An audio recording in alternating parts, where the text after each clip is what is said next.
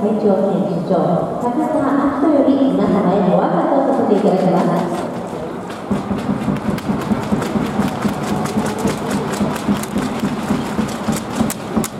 えー、こんにちは。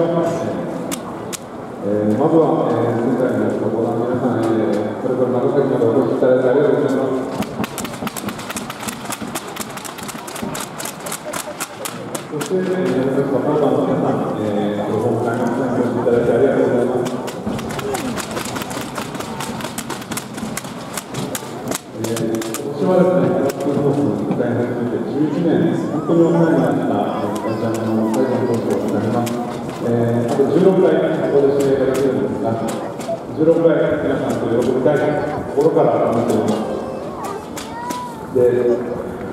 で今年はですね、あのシーズンの前から、えー、いろんなチャレンジをしてきました。あの JR のスリーバックだったり、あと、ミュージエっていう意味にやったり、ミニマムスポンサーを新しくしたりというチャレンジをしたんですけど、あのその過程でまずは、えー、ユニフォームの一緒などを通してしまってですね、なかなかまだまだ、えー、会社として必要なことを通してしまっていることを、えー、共有したいと思います。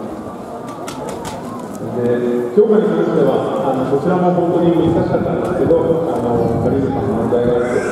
ただ結果的に答えたので素晴らしい監督に長崎に来ていただきました。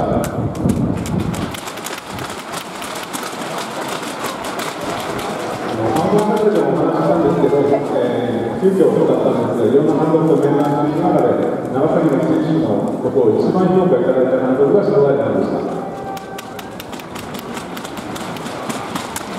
えー、そして、えー、キャンプ、毎年言ってますが、キャンプ時代の雰囲気本当に良かったです。あの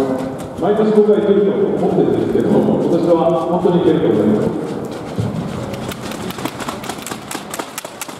で最後に、あの実は下平さんが選手に向けて最初に話したことが私の印象的で、えー、監督が選手に練習の合間にボールに座らないでほしいって話をされました。ボールに座るということは、最後、第一の試合のポストに当たったボールがボールに入っていることだそういう運命を分けることになるかもしれないです。そういう日々の、えー、サッカーへの感謝とか気持ちが最初に最後に最後に際立つ世界につながるという言葉を聞いて、本当にこの監督の思いは素晴らしいなと思いました。ですので、今シーズン、皆さんと共にですね、苦しい時期必ずあると思います。ただ、私も、えー、選手を通じて迷わず、えー、このチームを応援していきたいと思いますし、皆さんと共にですね、最高の舞台に来年行けるようにしたいと思います。今年の1年間、よろしくお願いいたします。